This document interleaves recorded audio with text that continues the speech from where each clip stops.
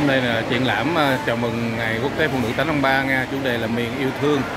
À, triển lãm đang à, diễn ra mới khai mạc xong tại hội mỹ thuật thành phố Hồ Chí Minh. Từ à, diễn ra từ ngày 6 cho đến 12 tháng 3 à, đây mời mọi người cùng vào tham quan nha. Đây, trong phòng triển lãm đây mọi người cùng tham quan qua một vòng nha.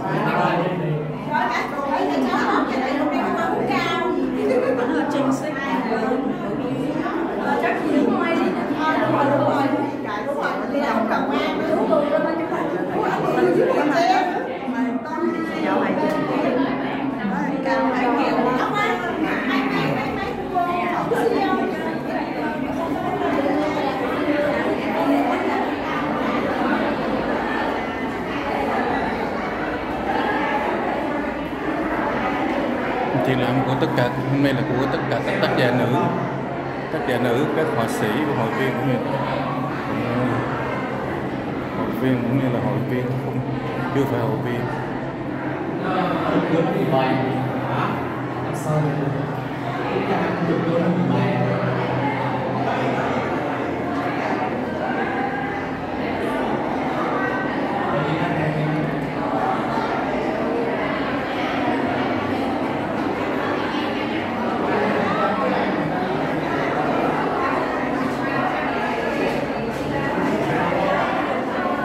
trình nói chung rất là phong phú, đa dạng nha. triển lãm đến ngày 12 tháng 3 nha cả nhà tại hội mỹ thành phố nha 218 A quận 3 thành phố Hồ Chí Minh